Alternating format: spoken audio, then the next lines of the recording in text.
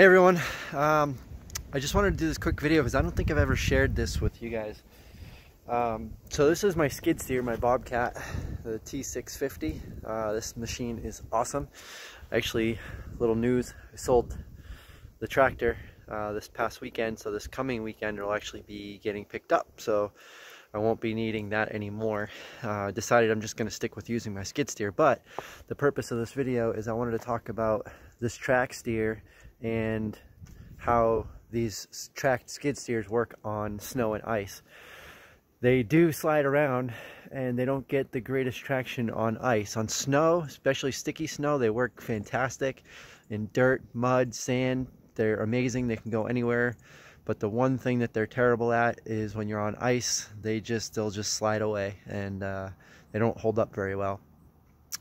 But that being said, if you install these, they're just as good as they are on any other terrain. These are iGrips, and by no means am I sponsored by them, but I wanted to share this because this is the second year I've had this machine, and it's the second year I've used these studs because when I first got the machine, I found it was just sliding all over the place, and I'm on a hilly driveway. It's hard, kind of hard to tell in a video, I guess, but this driveway uh, slopes down pretty steep, and then it turns off, and um, it gets kind of slick and scary because there's a little bit of a drop off when you get to here before it turns and it goes down the driveway some more. But um, these these studs are pretty amazing and I'll show you how they work. So basically uh, let's see I'm trying to make this video so you can see it. So these are the studs here and they basically screw in to the lugs of your track. Um, they also can work in rubber tires as well. So you order these um, based on the height of the lugs of your track, the tread on your track. So I have the 25 millimeter size because my track has like one inch thick treads. So these are basically just screws with a carbide tip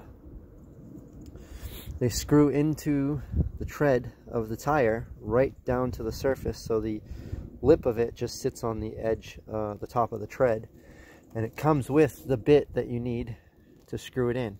It comes with everything you need. Um, so that's pretty much how it works. I never shared a video on this, so I just figured I'd do a quick few minute video here just to, to talk about those. But the website is igripstud.com. Um, I don't know if the video is backwards here the way I'm recording it, but it's igripstud.com.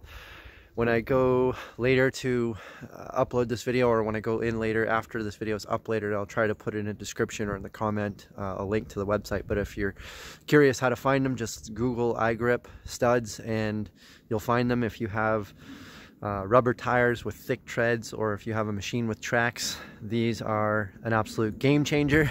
If you're finding you're slipping at all and it frustrates you get these studs and you won't be sorry you did. Um, I think they're about a dollar a stud and it takes about a hundred or so for me to put them in my machine. So you figure once a year I might have to buy a package because eventually the studs come out, they pull out. You can probably remove them after the end of the winter, but I never did because I have a lot of sand and mud around here, so it helps throughout the whole year. So I figure for $100 a year, I can't really go wrong. I can get all the traction I need for $100 a year. So to me, it's worth it. So I just wanted to share that with you. Hopefully it helps somebody. Uh, if you have any questions, uh, anything about that, just contact me, comment on the video down below, and I will do everything I can to help you out. Stay cool, stay warm. Uh, yeah, no, don't do that. Stay warm, stay dry. We'll talk to you soon. Take care.